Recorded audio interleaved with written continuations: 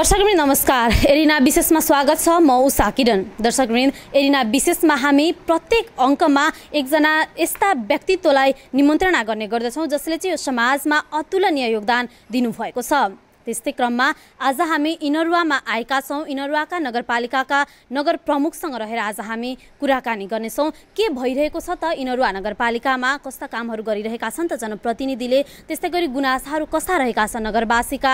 र समस्याहरू कस्ता छन् यो नगरपालिकाका? यी सम्पूर्ण यावत कुराको जानकारी आज हामी कार्यक्रम एरिना विशेषमा दिनेछौँ। त्यो पनि यहाँका नगर प्रमुखको मुखबाट कार्यक्रममा उहाँलाई स्वागत गर्ने अनुमति चाहन्छु। स्वागत छ सर यहाँलाई। धन्यवाद। सर केमा व्यस्त हुनुहुन्छ आजभोलि यो लगभग स्थानीय निर्वाचन भएको एघार महिना भयो। र यो असार मसान्तभित्र हामीले दस गतेभित्र असारभित्र भनौँ नगरसभा गरिसक्नुपर्ने छ। अब त्यही अनुरूपले अब भएको कार्यहरूलाई अधुरा कामहरूलाई पूर्णता दिन र आगामी योजना बनाउन आगामी वर्षको योजना बनाउन व्यस्त छु। विश्वकपको माहौल जताततै तातिरहेको छ होइन? यहाँले पनि जर्मनको जर्सी लाउनु भएको छ। माहौल निकै ताते जस्तो छ यहाँ पनि। हजुर अब यो चाडपर्व जत्तिकै हो यो। यो दसैँ आएको खुसियाली जस्तै हामी यो पूर्व खेलाडीहरूलाई चाहिँ वर्ल्ड कप त्यस्तै नै लाग्छ। धेरैवटा टिम छ वर्ल्डमा जुन हामीलाई मनपर्छ। जर्मनीकै जर्सी लाउनु पर्ने कारण चाहिँ के? जर्मनीकै सपोर्ट गर्नुपर्ने कारण के छ होइन जर्मनले नेपाल राष्ट्रलाई नै सपोर्ट गरेको छ। आजको मितिसम्म पनि जर्मन सरकारले धेरैवटा प्रोजेक्टहरू नेपाली जनताको हकितको लागि यहाँको गरिबी निवारणको लागि सञ्चालन गरिरहेको अवस्था छ। र त्यसमा पनि एउटा त्यो हिराको मोल हिरालाई नै थाहा हुन्छ क्या? खेलाडीलाई थाहा हुन्छ क्या? कुन टिमको स्पिड कस्तो छ कुन टिम कस्तो खेल्छ।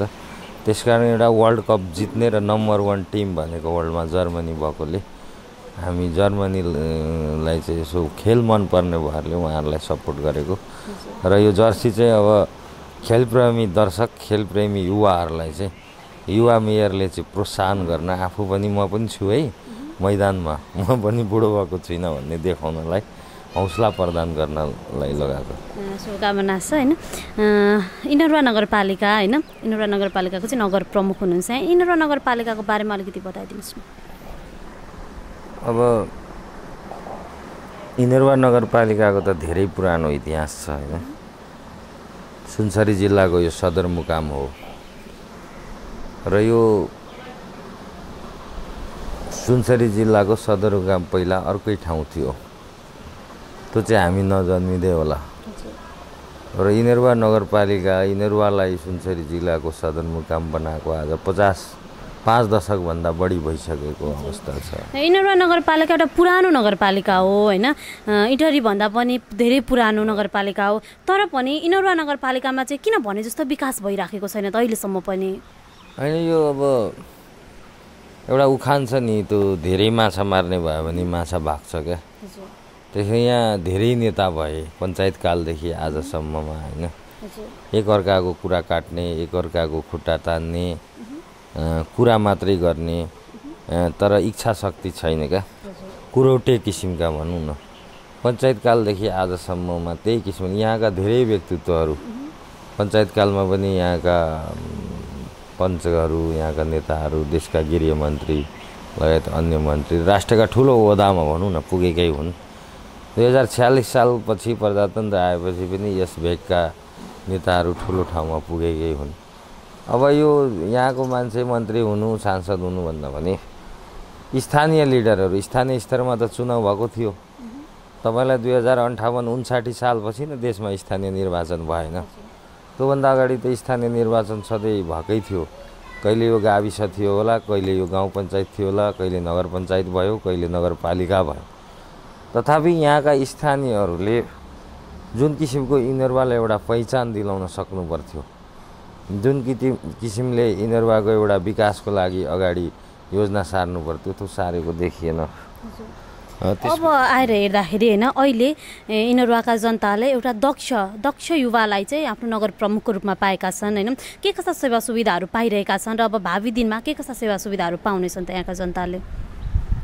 अब दक्ष त म आफैलाई आफैले भन्दिनँ।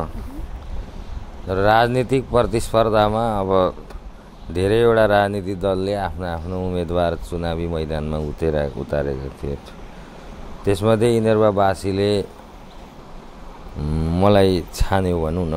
म यहाँको मेयर भए चुनाव जितेँ। अब त्यसमा पनि चुनावी रणनीतिहरू हुन्छ क्या।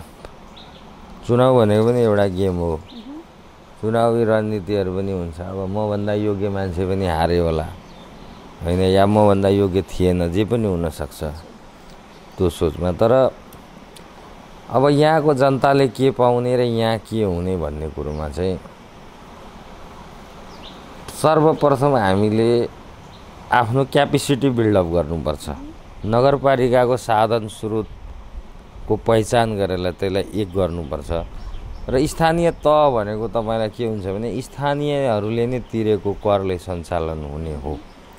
र त्यो अनुपातमा इन्द्रवा नगरपालिकामा चाहिँ सिस्टमै बसेको छैन क्या। यहाँको पब्लिकहरू कन्ट्रिब्युसन गर्न सिकेकै छैनन् बिचरा। जानेकै छैन कन्ट्रिब्युसन। अब ती इटरीको उदाहरण लिउँ ती धरानको लिउँ स्थानीय तहले तिस पर्सेन्ट चालिस पैसा पैसा लगाउँदा कुनै योजनामा पब्लिकको कन्ट्रिब्युसन सत्तर पर्सेन्ट अस्सी पर्सेन्ट हुने गर्छ।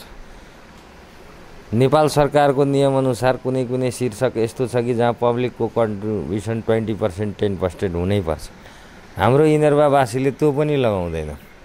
त्यसकारण एउटा सिस्टम नबसेको ठाउँ हो। यो सिस्टम बसाउनुपर्छ।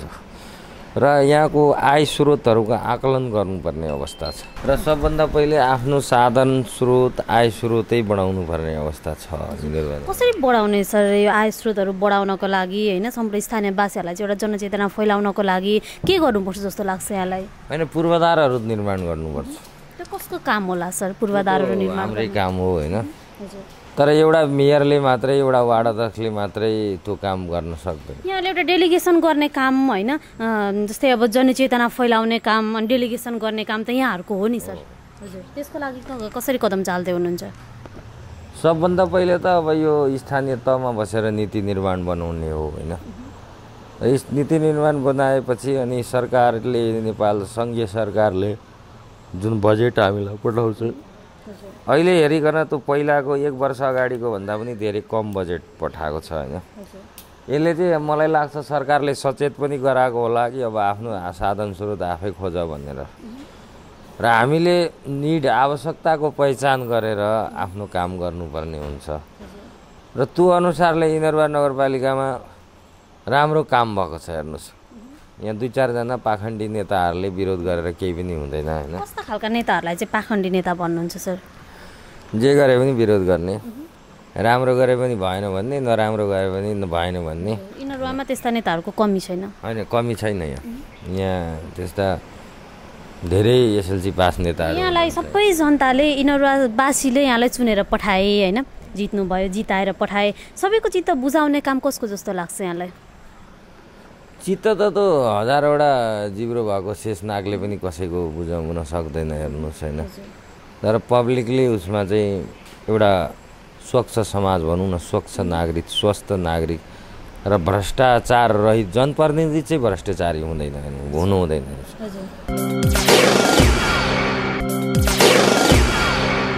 जनप्रतिनिधि काहीँ पनि भ्रष्टाचारी हुँदैन अहिलेसम्म भएको छैन। अनि किन भएको छैन? जनप्रतिनिधि भ्रष्टाचारका मुद्दा लगाएर जेल गएका छन् छन् होइन? धेरै छन् यस्ता उदाहरण छन् तर मेरो व्यक्तिगत विचारमा हुनु हुँदैन। हजुर। तर तर भइरहेको छ। तर भइरहेछ। हजारौँ जनताले विश्वास गरेर हजारौँ उम्मेदवारमध्ये हजारौँ मान्छेमध्ये तपाईँलाई एकजनालाई छानेर पठाउँछ। यसले चाहिँ जनताले कसरी विश्वास गर्ने त जनप्रतिनिधिलाई? कामको आधारमा। कामको आधारमा मूल्याङ्कन हुन्छ नि त। ठिकै छ। इनौरा नगरपालिकामा होइन अहिले देखा परेका मुख्य समस्याहरू कस्ता कस्ता छन्? मलाई त पैसै पुगेन हौ नेपाल सरकारले पैसै दिएन। नेपाल अधिराज्यमा सबभन्दा बढी पैसा खर्च गर्ने नगरपालिका हाम्रो इनर नगरपालिका। तपाईँ यहाँ सरर घुम्नुभयो भने मैले यहाँ साबिक इनरवा नगरपालिकाको दसवटा वडाको अस्सी पर्सेन्ट बाटो मैले बनाइसकेको छु। एक वर्ष आठ नौ महिनाभित्रमा। अब यो आउने एक महिनाभित्र भनौँ न त्यो बाटोहरू हामीलाई ह्यान्डओभर पनि हुन्छ। अस्सीदेखि नब्बे पर्सेन्ट ड्रेनहरू हामीले बनाइसकेको छौँ नालाहरू। तपाईँलाई लगभग सबै बाटोमा सोलरहरू जडान भइरहेको छ होइन? सबभन्दा पहिले त तपाईँले बाटोघाटो नालै बनाउनुपर्छ। त्यसपछि बजार व्यवस्थापन गर्नुपर्छ। इनेर्वाको विकास नहुनुको एउटा ठुलो कारण हाम्रो बजार एरियै छैन क्या। लगभग दुईदेखि तिन मिनट मोटरसाइकल चढ्नु भयो भने बजार त्यति पनि लाग्दैन बजार एरिया सकिन्छ भने।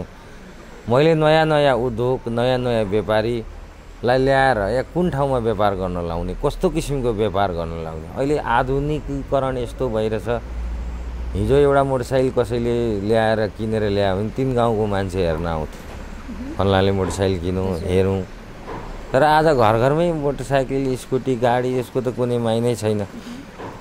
टेलिफोनका बुथहरू बजारमा थिए। पब्लिकहरू लाइन लागेर टेलिफोन बुथबाट टेलिफोन गर्थे। तर आज ती बुथहरू विस्थापित भए हात हातमा मोबाइल आए तपाईँको होइन? स्कुल पढ्ने बच्चादेखि लिएर तपाईँलाई ज्येष्ठ नागरिकसँगको हातमा मोबाइल छ भाइबर चलाउने मेसेन्जर चलाउने कुराहरू त छँदैछ। यस्तो कम्पिटिसन यस्तो इलेक्ट्रोनिक्स यस्तो वैज्ञानिक युगमा युगमा आधुनिकीकरण भइरहेको अवस्थामा फेरि तपाईँ लगानी गर्ने ठाउँ दिनुहुन्न व्यापारको प्रवर्धन गर्नुहुन्न। ठुला ठुला कम्प्लेक्स महल बनाउनुहुन्न होइन? अ, त्यसको लागि त जनताले चुनेर यहाँलाई पठाएका छन् नि त पहल गर्नको लागि।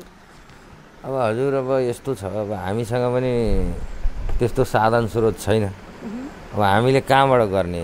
के गर्ने त? अब इनौरा नगरपालिकाका जनताहरू सधैँभरि यही समस्यामा चाहिँ पिल्सिएर बस्नुपर्ने भयो त्यसो भए। प्रयास गर्दैछौँ। कस्तो खालको प्रयास गर्दै हुनुहुन्छ? अब बाटोघाटो पूर्वाधार तयार गर्दैछौँ। बजार व्यवस्थापनको लागि हामीले अब आवश्यक अनुसन्धानहरू गर्दैछौँ होइन? खोज्दैछौँ। कहिलेसम्ममा चाहिँ भेटिएला यो अनुसन्धान? कहिलेसम्ममा पुरा होला? वर्ष योचोटि यो यो वर्ष चाहिँ हाम्रो बाटो बनाउने वर्ष थियो होइन? अब आगामी वर्ष पूर्वाधारको वर्ष हो। यसमा चाहिँ हामी ठुला ठुला सपिङ कम्प्लेक्सहरू सिटी हलहरू कवर्ड हल हलहरूको निर्माण गर्छौँ। कुन क्षेत्रमा चाहिँ कुन ठाउँतिर चाहिँ कभर हलहरू होइन बनाउने योजना बनाउनु भएको छ? हाम्रो त दुईवटा वार्डमा कवर्ड होल निर्माण एक यिनीहरू एक नम्बर वार्डमा चाहिँ लगभग लगभग निर्माणै भइसक्यो होइन। निर्माण भइसक्यो। छ नम्बर वार्डमा लगभग अन्तिम अन्तिम अवस्थामा छ। एउटा एउटा वडा एउटा कबड होल एउटा खेल मैदान एउटा स्वास्थ्य चौकी एउटा विद्यालय होइन। एउटा वृद्ध वृद्धाहरूको यसो भेला हुने ठाउँ। यस्तो अभियानमा हामी छौँ क्या एउटा पार्क। हजुर। कहिलेसम्ममा सुरु होला र कहिलेसम्ममा पुरा होला? यहाँका जनताले कहिलेसम्ममा हेर्न पाउलान्? डिपिआरहरू लगभग लगभग लगभग लग भइसकेको छ अब यो केही कुरा त यो असारको सभाभन्दा अगाडि नै टेन्डरमा जान्छ। र आगामी वर्षको बजेटमा केही कुराहरू सम्बोधन हुन्छ जस्तै यहाँको पर्यटक धार्मिक स्थलहरूलाई निर्माण गर्ने। मान्छे अब शनिबार हुन पाएको हुँदैन इटरीतिर गोकुलमतिर कता कता बेतनातिर लाग्छन्। अब त्यसलाई चाहिँ आफ्नै हाम्रा प्रशस्त सम्भावनाहरू बोकेको ठाउँ हो यिनीहरू। सम्भावनाहरू बोके तापनि विकास भन्ने केही हुन सकेको छैन। इच्छा शक्ति हुनु पर्यो नि। इच्छा शक्ति कसले गर्नुपर्ने हो सर? पोलिटिकल लिडरहरूले गर्नु पर्यो पोलिटिकल लिडर भनेको त यहाँहरू नै हो नि। मेयरले गर्नु पर्यो मेयरले गर्नु पर्यो वार्ड अध्यक्षले गर्नु पर्यो वार्ड सदस्यले गर्नु पर्यो होइन? जनता जागरुक हुनु पर्यो सबै मिलेर नै विकास हुने हो। मुख्य मुख्य भूमिका भनेको त नगर प्रमुखको हो जस्तो लाग्छ मलाई। अब एक वर्षमा जति राम्रो काम गरे पनि अब यो विरोधका कुराहरू चाहिँ हुन्छ अरे हेर्नुहोस्। अब विपक्षीले विध विरोध गरे भने उहाँहरूको पनि राजनीतिक रोटी सेकिँदैन। राजनीतिक त भनेको त एउटा गेम न हो। अनि मैले जति मैले पनि अब विरोधीहरूलाई देखिरहेको हुन्छु। मैले पनि उहाँहरूलाई हेरेर काम गर्छु होइन। प्रतिस्पर्धा बिनाको राजनीति पनि हुनु हुँदैन प्रतिस्पर्धा बिनाको समाज पनि हुनु हुँदैन प्रतिस्पर्धा बिनाको कुनै क्षेत्र पनि हुँदैन। स्थानीय निकायको तर स्वच्छ हुनुपर्छ क्या प्रतिस्पर्धा। प्रतिस्पर्धा स्वच्छ हुनुपर्छ। र स्थानीय सरकारले आफ्नो ड्युटी राम्रोसँग पुरा गर्दैछ। जनतालाई सुशासन दिने काममा। जनतालाई न्याय दिलाउने काममा जनताको इच्छा र आकाङ्क्षा र जुन सोचले हामीलाई यो ठाउँसम्म पुगायो ती कुराहरू पुरा गर्न हामी अहोरात्र काम गर्दैछौँ। र मलाई लाग्छ पाँच वर्ष नबित्दै तपाईँ यिनीहरूको मुहार फेरिएको देखिनु पाउनुहुन्छ। यसको लागि हामी काम गर्छौँ। अब जति काम गर्छौँ सबै हल्ला गरेर त भएन। तपाईँहरूले पनि हेरिदिनुपर्छ जनताले मूल्याङ्कन गर्दैछन्। तर जनताको सोच अनुकूल काम गर्न हामी तयार छौँ र हामी भनेपछि यहाँका जनताहरू कतिको सन्तुष्ट छन् त? स्थानीय सरकारप्रति? जनता त सन्तुष्ट हुन्छ नि। अब एक वर्ष भयो होइन भर्खर एक वर्ष हुन लागेको छ। अब एक वर्षमा हामी त पहिलोचोटि जनप्रतिनिधि भएको। नेपालको प्रधानमन्त्री मन्त्री जस्तो त होइन। छ महिना हुने फेरि ढल्ने फेरि अर्को हुने। पच्चिस वर्षमा अठाइसवटा सरकार भएछ नेपालमा। त्यस्तो त होइन। हामी पाँच वर्षको लागि स्थायी सरकार हो। होइन हामी अल्पमतमा भए पनि बहुमतमा पनि हामीलाई ढाल्न सक्दैन। नेपाली कङ्ग्रेसको तर्फबाट निर्वाचित हुनुभयो होइन। नेपाली कङ्ग्रेसको इतिहास हेर्दाखेरि पृष्ठभूमि हेर्दाखेरि विगतका चुनावहरूमा पनि राम्रो नतिजा ल्याएको थियो। तर पनि पाँच वर्षसम्म टिक्न सकेन कि नेपाली काङ्ग्रेस? कहिले पनि। हजुर। यसो हुन्छ नि त अब धेरै चिनी पनि धेरै गुलियो हुन्छ धेरै गुलियो खायो भने पनि तितो हुन्छ। मिल्न नसकेको हो। भनेपछि त्यति दुई तिहाई बहुमत नै ल्याएको थियो गाडी त्यतिखेर होइन? ल्याउँदा पनि नेपाली कङ्ग्रेस चाहिँ पाँच वर्षसम्म टिक्न सकेन। भनेपछि अहिले चाहिँ अहिलेको चुनावी मत परिणामलाई हेरेर नेपाली जनताले कसरी विश्वास गर्ने कि नेपाली कङ्ग्रेसले काम गर्छ? होइन दुई तिहाई बहुमत त दुई हजार पन्ध्र सालमा आएको हो। त्योभन्दा पछाडि बहुमत आएको दुई तिहाई आएन। दुई तिहाई बहुमत पन्ध्र सालमा आएको डेढ वर्षपछि राजाले हटाए। काङ्ग्रेसले एक सय एघार सिट ल्याएको। हो होइन? दुई सय पाँच सिट थिए के अरे राम्रै बहुमत राम्रै ल्याएको हो बहुमत पूर्ण ल्याएको बहुमत ल्याएको थियो अडचालिस सालको चुनावमा। चाहिँ नेपाली कङ्ग्रेसले बहुमत ल्याएको थियो होइन? तर पनि पाँच वर्षमा चाहिँ टिक्न सकेन क्या। भनेपछि अब त कसरी विश्वास गर्लान् र जनताले? विश्वास गर्नुपर्छ नि। त्यो राजनीतिमा सरकार ढलेन राजनीति सरकार ढालिएन विपक्षीको विरोध गरिएन भने राजनीति के जनसेवा हो र? एम्बुलेन्स सञ्चालन गरेको हो र पछिल्लो समयमा आएर नेपाली जनताले किन पत्याएनन् त नेपाली कङ्ग्रेसलाई? जनताले पत्याएकै हो। अब नेपाली जनताको माझमा नेपाली काङ्ग्रेस सात सत्तर वर्ष पुरानो पार्टी होइन? पुरानो पार्टी भए तापनि पत्याएनन्। सुन्नु न र सत्तर वर्षको इतिहासमा कहिले राजासँग लडे कहिले राणासँग लडे होइन? कहिले अब विभिन्न शासकहरूसँग लडे अस्ति जनआन्दोलन नै यो देशमा धेरैचोटि भयो। छत्तिस साल भयो होइन छ्यालिस साल भयो सत्र साल सात साल बासठी त्रिसठीमा पनि राजासँगै लड्यो। र लोकतन्त्र प्रजातन्त्रको लागि जहिले पनि लड्ने पार्टी नेपाली काङ्ग्रेस। जनताको प्रतिनिधिद्वारा जनताको हकितमा लेखेको संविधान हुनुपर्छ भन्ने पार्टी नेपाली काङ्ग्रेस हो यो तर पनि पत्याएनन्। होइन। तर पनि पत्याएनन्। सुन्नु नि त एमाले हो नि यो त हाम्रो दुई हजार चार सालकै एजेन्डा हो सात सालको पनि होइन। तर पछि त्यो एजेन्डामा सबै आएका हुन् क्या। नेपाली काङ्ग्रेसको एजेन्डामा माओवादी पनि आएको हुन् एमाले पनि आएको हो सबै आएको हो। संविधान सभा चुनाव भएकै हो। संविधान नेपाली काङ्ग्रेसकै आदरणीय सम्मान्य प्रधानमन्त्री सुशील कोइरालाको नेतृत्वमा लेखिएकै हो। तबसम्म ठिक थियो। जनताको माझमा नेपाली काङ्ग्रेसलाई दिनलाई धेरै एजेन्डा थिए। संविधान दिन्छु प्रजातन्त्र दिन्छु सुरक्षा दिन्छु। संविधानको घोषणा भयो होइन? लोकतन्त्रको स्थायित्व भयो। त्यसपछि नेपाली काङ्ग्रेसले एजेन्डै ल्याउन सकेन। अब के? कारणले सकेन? अब ल्याउन सकेन। नेपाली काङ्ग्रेस चुक्यो। सत्य कुरोलाई त ढाँट्नु हुँदैन नि। तर त्यो भन्दैमा काङ्ग्रेस कमजोर होइन? अहिले अब दुई तिहाई आएको छ हाम्रो दुई तिहाई त आएको होइन दुई पुग्यो। नेपाली कङ्ग्रेस कमजोर भएकै कारण चुक्यो। कमजोर होइन चुनावी तालमेल मिल्दैन। कहिलेकाहीँ अब अस्ति जर्मनीले पनि गेम हारो हेर्नु अर्जेन्टिनाले पनि हारो त्यस्तै हो नि। खेलमा खेल प्रजातन्त्र पनि फुटबल गेम हो। फुटबल गेम गेम जस्तै हो। प्रजातन्त्र टिक्नु पर्यो क्या लोकतन्त्रको स्थायित्व हुनु पर्यो संविधानको कार्यान्वयन हुनु पर्यो। नेपाली कङ्ग्रेसले नेपाली कङ्ग्रेसले राम्रो भूमिका खेल्न सकेन नेपाली जनताको माझ यो भनेर बुझौँ आज हामीलाई जनताले जुन अवस्थामा राखेको छ त्यहाँ त बस्न सक्नु पर्यो नि। हारेपछि हार स्वीकार गर्न सक्नु परेन। हामी कम्युनिस्ट हो र हारे पनि रेलिङ सबै फुटाइदिने। मुर्दाबाद जिन्दाबाद गर्दै हिँड्ने। ले तर पनि कम्युनिस्टलाई चाहिँ जनताले पनि यसले माया गरिराखेका छन्। म पनि माया गर्छु। जनताले रुचाएपछि म को माया नगर्ने तर राजनीतिक कर- कार्यकर्ता भएकोले त म आफ्नै रोटी सेक्छु नि।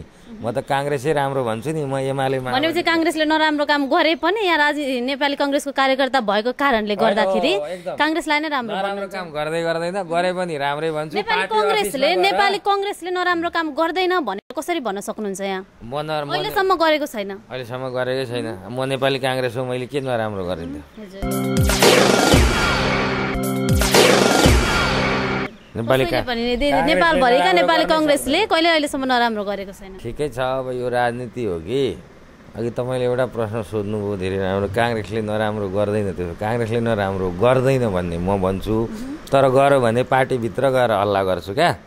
मान्छेले देखिने गरी गर्दिनँ। म किनभने यो हाम्रो पनि आचरण हुन्छ गर्न। चाहिँ गर्छ बाहिर चाहिँ भन्नुहुन्न यहाँ। तपाईँ एङ्कर गर्नुहुन्छ एरिना टेलिभिजनमा काम गर्नुपर्छ यो तपाईँको पेसा हो भनेपछि नेपाली काङ्ग्रेसले नराम्रो काम चाहिँ गर्छ तर यहाँ भन्नु चाहिँ हुन्न राम्रै गर्छ भनेर हिँड्नुहुन्छ। राम्रो काम गर्दैन।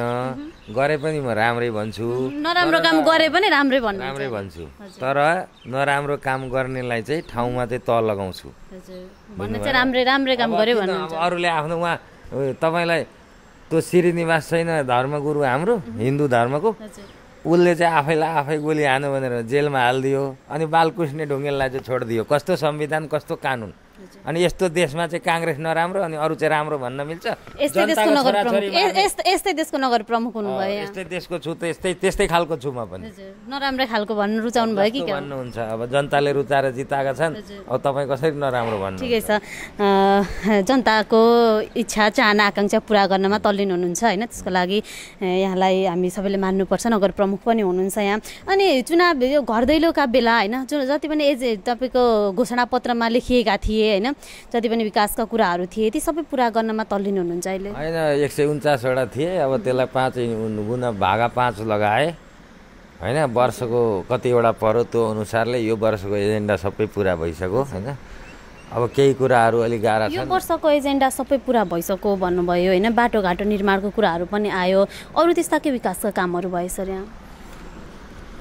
हाम्रो यो इन्द्रवा नगरपालिका क्षेत्रफलमा विराटनगरभन्दा जिरो पोइन्ट नाइन नाइन माइलले ठुलो छ। यहाँको जनसङ्ख्या सडसठी हजार दुई सय लगभग हो। बत्तिस हजार आठ सय भोटर हो। क्षेत्रफल ठुलो कृषिको ठुलो हब हो। यहाँ धान गहुँ आँप लिची कटहर कोला मेवा लगायतका खेती कृषि क्षेत्रलाई चाहिँ कसरी होइन प्रोत्साहन गर्ने कामहरू कसरी गरिरहनु? कृषि हो र यहाँको किसानहरूलाई सबभन्दा पहिले हामी सिँचाइको लागि जुन जुन ठाउँमा हाम्रो नेपाल सरकारले बनाएका नहरहरूको पानी पुग्दैन त्यो प्रत्येक ठाउँमा हामी बोरिङको व्यवस्था गर्न सम सक्षम भयौँ। हाम्रो कति ठाउँमा अहिले जडान हुँदैछ कति ठाउँमा भइसक्यो। दसैँवटा वार्डमा हाम्रो जम्मा दसवटा वार्ड हो। र किसानको उत्पादनलाई बजारसम्म पुगाउनलाई हामी कृषि सङ्कलन केन्द्रहरूको निर्माण गर्दैछौँ। हजुर गरिसक्नु भयो या गर्दै हुनुहुन्छ? दुईवटा वार्डमा भइसक्यो अरूमा निर्माण कार्य कुन कुन वार्डमा भयो सर? मेरो दस नम्बर वार्डमा भइसक्यो। साबिक तपाईँलाई सात र आठ भन्थ्यो त्यो तपाईँलाई एउटै वार्ड भएको छ। त्यहाँ अहिले लगभग समापन हुने अवस्था छ। लगभग तिन नम्बर वार्डमा पनि बन्दैछ र अरू वार्डहरूमा पनि अब नेपाल सरकारको अनुदान आएर बन्दैछ र केही वार्डहरूमा साबिक छ र चारमा छँदैछ। कृषकको उत्पादनलाई ताजा सागसब्जीलाई स्टक गर्ने र त्यसलाई बजारसम्म पुगाउने। मैले देखेको छु कुनै कुनै तरकारी इटरीमा अस्सी रुपियाँ हुन्छ इनेरवामा पाँच रुपियाँ हुन्छ। बडा विडम्बना छ। उचित बजार व्यवस्थापन। मान्छेले इटरीमा लगेर बेच्ने अवस्था पनि छैन। दरो सेन्डिकेट रहेछ तरकारीमा पनि। बेच्नै दिँदैन। हजुर यसलाई यसको लागि के सोच्नु भएको छ? त्यसको लागि चाहिँ अब यो वर्ष चाहिँ सकिएन। तर नगर स्तरमा सरकारी तवरले नै हामी नै कृषकको तरकारी या फलफुल किन्ने या स्टोक गर्ने र जहाँ उचित मूल्य पाइन्छ त्यहाँसम्म पुगाइदिने। यसले गर्दा किसानहरूलाई चाहिँ धेरै ठुलो प्रोत्साहन हुन्छ। धान गहुँको मार्केटिङ खोज्नुपर्छ होइन? अब किसानहरूले धेरै मिहिनेतले धान लगाउँछ लेबर पाइरहेको छैन मान्छे विदेशिएका छन् युवा जनशक्ति छैन। जनशक्ति पनि एकदमै धेरै बाहिरिने होइन। बाहिरिरहेका छन् र यहाँका जनशक्तिलाई चाहिँ यही प्रयोग गरेर केही उत्पादनमूलक काममा लगाएर होइन? यहाँबाट चाहिँ आर्थिक उन्नति पनि गर्न सकिन्छ। यसको बारेमा केही सोच्नु भएको छ यहाँले? एकदम सम्भावनाहरू धेरै छन्। यहाँ धेरै गाई भैँसी पालक कृषकहरू छ होइन? उहाँहरूलाई डेरीमा सहकारीमा लगानी म गर्न खोज्दैछु। सहकारी बोर्ड गठन गरेको छु मैले होइन? साहित्य प्रतिष्ठान खेलकुद बोर्ड गठन गरेको छु। अब यो दुधजन्य वस्तुको उत्पादनमा धेरै ठुलो महत्त्वपूर्ण एरिया भएकोले यसको विकासको लागि पहल गर्दैछु होइन? अब तरकारीको भनिहालेँ धान गेहुँको भनिहालेँ होइन? र फलफुल खेती आँप लिचीको उर्वर भूमि रहेछ यो अहिले हामी वृक्षारोपण एक घर दुई बिरुवा अभियान चलाएको छ। यो वर्षमा हुर्काउने। पाँच वर्षमा प्रत्येक घरमा पाँचवटा आँप र पाँचवटा लिची फलेकै हुनुपर्छ। त्यो अभियान अन्तर्गत हामी काम गर्दैछौँ। तपाईँलाई आफूलाई खाने जति फलफुल मेवा काँक्रा भयो होइन पोला यो लगाएकै हुनुपर्छ। अब यो बजार एरियामा त सम्भव छैन। तर बजारका केही एरिया बाहेक सबै ठाउँ सम्भव छ। त्यसकारण हाम्रा ऐलानी पर्तीमा पनि अब यो नफल्ने किसिमका बोट बिरुवा भन्दा पनि उत्पादनमूलक बोट बिरुवा लगाउने योजनामा छौँ। हामीसँग हजारौँ बिघा जग्गा एलानी पर्ती भेटिसकिएको अवस्था छ। सबैमा प्लान्टेसन हुँदैछ आँप लिची कटहरका अब सकेसम्म लोप्ने जोगाउने। र खास गरी मेरो भनाइ के छ भने सूक्ष्म तरिकाले एउटा जनप्रतिनिधिले हेर्नुपर्छ। र एज अ मेयर यिनीहरूको प्रत्येक कुरोसँग म उमेर त मेरो धेरै छैन फेरि। तर समस्या मलाई धेरै थाहा छ। किनभने मेरो पारिवारिक पृष्ठभूमि नै यही स्थानीय तहमा काम गरेका धेरै अनुभवी छन्। मेरा हजुरबाबु पनि यहाँका तेइस वर्ष उप प्रधानपञ्च भएका मेरा दुईवटा काकाहरू मेयर भइसकेको। त्यसकारण चाहिँ अब पारिवारिक उसले गर्दा पनि मलाई धेरै कुरा थाहा छ राजनीतिमा हाल थाहा छ। कस्तो अवस्था छ भने मार्केटको भाउ आकाशिँदै गएको अवस्था छ। गरिब जातको कुरो गर्नुहुन्छ भने एउटा तपाईँलाई प्रसङ्ग बदले म मेरो विचारमा मान्छेको दुईवटा मात्रै जात हुन्छ। एउटा धनी वर्ग एउटा गरिब वर्ग। त्यसपछि अर्को वर्ग हुँदैन। र संसारमा सबभन्दा पाप गर्नु भनेकै गरिब हुनु जस्तो रहेछ। पीडा गरिबलाई नै मात्रै हुन्छ शोषण गरिबलाई मात्रै हुन्छ कर गरिबलाई मात्रै लाग्छ। देशको राज्यको नीति नियम कानुन सबै गरिबलाई मात्रै लाग्छ। हुने खानेलाई लाग्दैन। त्यसकारण एउटा गरिबको नेता र यो ठाउँको अस्सी पर्सेन्ट बासिन्दा कृषक छन् गरिब छन्। त्यसलाई सम्बोधन गर्दै गर्दा गरिबका बालबालिकाहरू आज अवस्था हेर्नुभयो भने अचम्म लागेर आउँछ। बिस वर्ष अगाडि यस्तो थिएन। हामी पनि स्कुलै पढेको तर हामी पढ्ने विद्यालयलाई स्कुललाई अहिले सरकारी स्कुल भन्दो रहेछन् निजी विद्यालय बोर्डिङलाई भन्दो रहेछ। हिजो हामी पढेको विद्यालयलाई सरकारी विद्यालय अहिले भन्दो रहेछ। आज समाजमा मेरो नगरपालिकामा एक सय दुईजना कर्मचारी छन्। तीमध्ये सरसमयका कर्मचारी जुन तल्ला जातका छन् त्यसका बाहेक कसैको छोराछोरी पनि तपाईँलाई स्कुलमा पढ्दैन। अहिलेको भनाइअनुसार सरकारी स्कुलमा। यो के कारणले होला सर? यो यसको चाहिँ यो यो राज्यले समेट्न नसकेको सम्बोधन गर्न नसकेको। यसमा यहाँहरूको भूमिका कस्तो रहन्छ? भूमिका धेरै छ। अब स्थानीय तहले नीति निर्माण गर्दैछ। आफ्ना अनुकूलका कानुनहरू बनाउँदैछ। हुन त म आफ्नोलाई राज्यले त हामीलाई स्थानीय सरकार भनेर सम्बोधन गरेछ। संवैधानिक त। स्थानीय सरकार होइन? सिंहदरबारको अधिकार चाहिँ जनताको घर दैलोमा आउने कुराहरूमा जनताहरू एकदमै विश्वस्त थिए। यहाँका जनताले चाहिँ एकदमै धेरै विश्वास गरेर भरोसा गरेर यहाँलाई जिताएर चुनावमा भोट हालेर चाहिँ अगाडि पठाएका हुन् होइन? यी यावत कुराहरू सम्झिँदाखेरि अझै पनि यहाँका जनताहरू धेरै दुःखमा पिल्सेको अवस्था छ सर। होइन जुन यहाँले कुरा गर्नुभयो सरकारी स्कुल अनि निजी विद्यालयको कुराहरू यसको चाहिँ के छ? यसलाई चाहिँ कसरी व्यवस्थापन गर्न सकिएला? अब जस्तो जब कि सरकारी विद्यालयमा पनि होइन जुन लापरवाहीको हिसाबले पढाइ भइराखेको छ होइन त्यो जनताको अधिकार सिंहदरबारको अधिकार जनताको घर घरमा भन्ने म होइन क्या। त्यो ओलीजी र प्रधानमन्त्री ओलीजी र ऊ प्रचण्डजी तपाईँहरू जस्तै।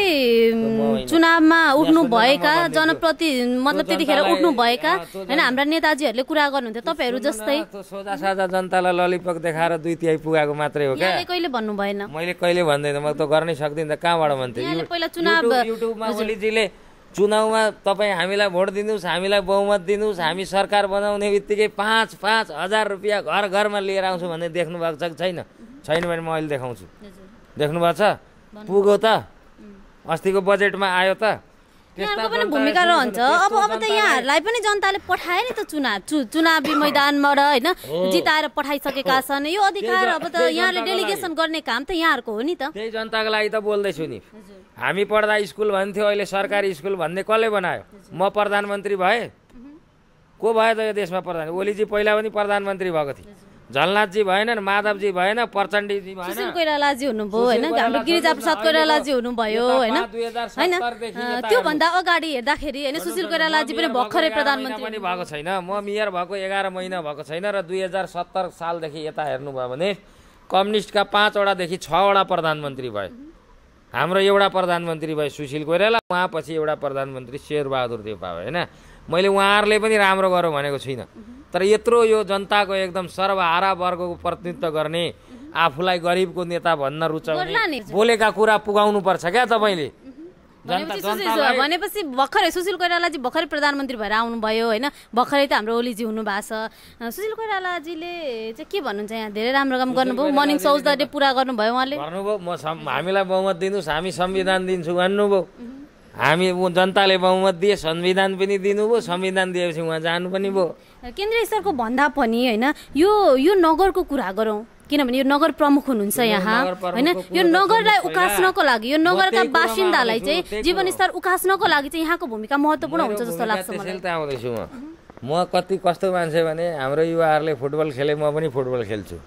अहिले अहिले युवाहरू जर्मनीतिर लागे सपोर्टमा म पनि लागेँ। म त जनताको जे भन्छ त्यही गर्ने मान्छे हो नि किनभने जनताको पर प्रतिनिधि हो। तर जनतालाई जे पाए त्यही भनेर ढाँट्नु हुँदैन क्या। कुन ठाउँबाट तपाईँ समुद्र पुग्नुहुन्छ? नाउ गाडीमा लोड गरेर जानुहुन्छ समुद्रमा नाउ कुदाउँछु भन्ने नेता पनि छन्। चुनावको बेला भोट दिनुहोस् घर घरमा पाँच हजार दिन्छु भन्ने नेता पनि छन्। ग्यास सिलिन्डरको त कुरै छोडिदिनुहोस् घर घरमा लगेर पाइपै जोडिदिन्छु पाइपलाइन।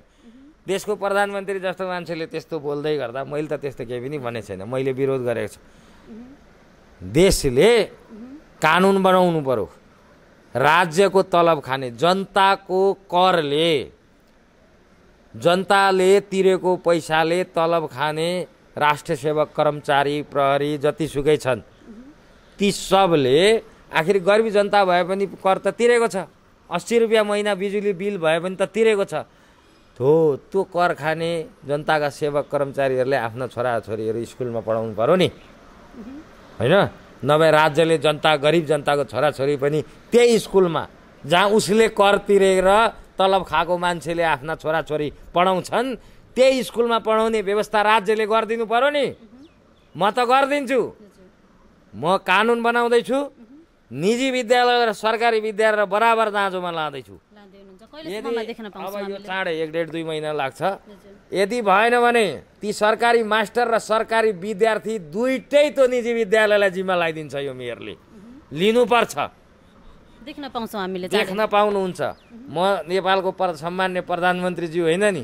के चाहिँ आशा गरौँ होइन? आशा गरौँ यो त अब भोलिको कामले पनि देखाउने कुरा हो होइन? हामी पहिला तपाईँलाई यो घर दैलो कार्यक्रममा पनि अन्तर्वार्ता लिन आएका थियौँ यहाँको विचार लिनको लागि। त्यतिखेर यहाँले चाहिँ इनरुवामा चाहिँ उर्वर भूमि पनि हो होइन? कृषिमा धेरै जनता यहाँका जनताहरू निर्भर रहेका छन्। त्यो कारणले गर्दाखेरि चाहिँ भैँसी प्रतियोगिता सुन्दरी भैँसी प्रतियोगिता गर्छु भन्नुभएको थियो यहाँले। गरिसक्नुभयो? गरेको छैन भैँसी किनेर ल्याइसक्यो होइन? त्यो पनि भैँसी ल्याइसक्यो। किनेर। भैँसी ल्याएर तपाईँ हेर्नुभयो भने सोमबारेमा तिनवटा भैँसी राखेका छौँ। गजबको भैँसी छ। सायद त्यो भैँसी सुन्दरीलाई एकदम सुहाउने खालको पुरस्कार हुन्छ। तिनवटा भैँसी किनेर राख्नु भएको छ यहाँले। पहिलो दोस्रो र तेस्रोलाई। कहिलेसम्मको योजनामा पर्यो त सर? दस असार दसपछि हुन्छ किनभने हाम्रो अहिले नगरसभा छ। र यो बाटोघाटो निर्माण कार्यले रणनीति नीति अब यो दौडबडा निकै भयो पैसा ल्याउने तछार मछाड भयो होइन? नगरपालिकाहरू पनि धेरै छन् कम्पिटिसन भयो कसले कति विकास गर्ने अब युवा मेयरहरू छन्। देशमा हाम्रो एक नम्बर प्रदेशमा पनि। त्यसले गर्दा अलि दुई चारवटा कामहरू गर्न भ्याइएको छैन होइन? अब यो भैँसी सुन्दरी प्रतियोगिता हुन्छ। यसमा पनि अब केही पाखण्डी नेताहरूले अब दम्ब देखाए। बहुमत र अल्पमतका कुराहरू जस्तो एउटा जनताले चुनेर पठाएको व्यक्तिले नेताहरूलाई नै पाखण्डी भन्नु कतिसम्म सही हो जस्तो लाग्छ सर यहाँलाई? एकदम राम्रो लाग्छ। मलाई के बाँकी राखेको छ र म बाँकी राख्छु? एकदम राम्रो कुरो हो। मलाई पनि भन्दो होला। म पनि भन्छु। नभनी त राजनीति हुँदैन हेर्नुहोस् यो त ठुलो मार्केटिङ हो। राजनीति भनेको मार्केटिङ हो। एकदम। आफ्नो माल बेकाउन चाउचाउवालाले कस्तो एड- एडभर्टाइज गरिरहेको हुन्छ गर्दैन? पुरा फिल्मी कलाकार चौचौवाला र नेतामा कुनै पनि फरक भएन। होइन उसको प्रोफेसनमा ऊ ऊ त्यो ठाउँमा राइट छ। हाम्रो प्रोफेसनमा हामी राइट छौँ हामी चाउचाउवाला पनि होइन उनीहरू नेता पनि होइन। मार्केटिङको म इमान्दार छु। मैले मनमा लागेको कुरो लुकाउँदिनँ। त्यसैले म तपाईँलाई यो कुराहरू भन्दैछु। यो देशको कुनै पनि मेयरले यो बेलामा यस्ता कुरा गर्दैनन् र यो फुटबलको जर्सी लाएर इन्टरभ्यू पनि दिँदैनन्। इन्टरभ्यू दिनु पऱ्यो भने चट्टा झिल्के टोपी सुट सुट लाउँछ चस्मा त लाउनु भएको छ नि यहाँले पनि? कालो चस्मा लाउनु भएको छ। आँखा प्रब्लम छ। आँखा प्रब्लममा पाउरालाई चस्मा आउँछ? पावर होइन भोलि मेरो अपरेसन गर्नुपर्ने डेटै छ काठमाडौँ तिलगम्बामा। तर यो परिषदले गर्दा मैले जान पाइनँ। अब त्यो डेट क्यान्सल भयो भने मलाई लाग्छ एक महिना अझै ढिलो होला। मलाई एउटा आँखामा धेरै प्रब्लम छ। आँखा डिसब्यालेन्स भएर बाहिरतिर आउँदैछ क्या। त्यस कारण तपाईँलाई अब हेर्दा नराम्रो देख्नुहुन्थ्यो। त्यसैले मैले कालो चस्मा लगाएँ। ठिकै छ सर। समय दिनुभयो होइन? अन्त्यमा मैले यहाँलाई सोध्न छुट्याएको अनि यहाँले भन्न छुटाउनु भएको यहाँका नगरवासीहरूको लागि केही छ भने बताइदिनुहोस्। होइन हाम्रा नगरवासीहरू धेरै सन्तोषी छन्। धेरै सोझा छन् होइन? विकास प्रेमी छन् होइन? अब अलिकति नगरवासीहरूलाई म विनम्र अनुरोध गर्छु। अब हामीसँग पनि धेरै टाइम छैन अब चार वर्ष छ। हामीले गरेका राम्रा कुराहरूको समर्थन गरिदिनुहोस् नराम्रा कुराहरू खुलेर हामीलाई भनिदिनुहोस् र नराम्रा कुराहरू भन्दै गर्दा त्यसलाई सच्याउने बाटोहरू पनि देखाइदिनुहोस् समस्या मात्रै होइन समस्याको समाधान पनि देखाइदिनुहोस् भन्ने म आग्रह गर्छु र तपाईँहरूले विश्वास गर्नुपर्छ। हामी जनप्रतिनिधि तपाईँहरूले बनाएको जनप्रतिनिधिले आफ्नो कार्यकालभरिमा यो इनरुवाको मुहार फेर्छ। यहाँको अमूल्य समय हामीलाई दिनुभयो। त्यसको लागि यहाँलाई धेरै धेरै धन्यवाद हजुरहरूलाई पनि धेरै धेरै धन्यवाद। दर्शकवृन्द हामी कार्यक्रमको अन्त्यतर्फ आइसकेका छौँ। एरिना विशेषमा आज हामीसँग हुनुहुन्थ्यो। इनरुवा नगरपालिकाका नगर प्रमुख राजन मेहता। उहाँसँग हामीले इनरुवा नगरपालिकामा अहिले के भइरहेको छ? इनरुवा नगरपालिकाका समस्याहरू के के छन्? इनरुवा नगरवासीका गुनासाहरू कस्ता रहेका छन्? कतिको सन्तुष्टि छन् यहाँका नगरवासीहरू? त्यस्तै गरी जनप्रतिनिधिले यहाँका जनप्रतिनिधिले चाहिँ कस्तो भूमिका निर्वाह गरिरहेका छन् त यो ठाउँमा? यी यावत कुराको जानकारी हामीले कार्यक्रम एरिना विशेष मार्फत दिइसकेका छौँ। अर्को अङ्कमा एरिना विशेषको अर्को अङ्कमा यस्तै नयाँ व्यक्तिलाई उपस्थित गराउने बाचा गर्दै आजलाई भने कार्यक्रमबाट कार्यक्रम प्रस्तुता म उषा किरणको साथमा क्यामरामा कुशल कार्कीलाई आज्ञा दिनुहोस्। नमस्ते।